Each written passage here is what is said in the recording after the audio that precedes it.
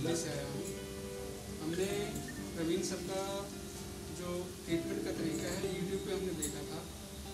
देखते ही हमें लगा था कि हमें यहाँ पे जाना चाहिए। बिकॉज़ मेरे बच्चे को करीब चार पाँच साल से हम महसूस कर रहे हैं कि सुनने में इसकी क्षमता कम है, कमज़ोरी है सुनने में, दोनों कानों से। आज हमारा यहाँ पे आके करीब दो घंटे का इलाज हुआ। इसमें कोई इंजेक्शन नहीं, कोई चीर पर कोई टीका टाँका कुछ नहीं। सिंपल डाली, कान में सफ़ाई हो गई।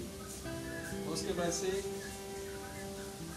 इसकी सुनने की क्षमता मुझे भी अच्छी लग रही है और ये खुद भी बोल रहा है कि अच्छी लग रही है इसको। पहले से बेटर सुन पाता है मैं सभी लोगों से कहूँगा, जो भी भाई बंधु हैं, जिनके बच्चों की ऐसी कोई परेशानी है,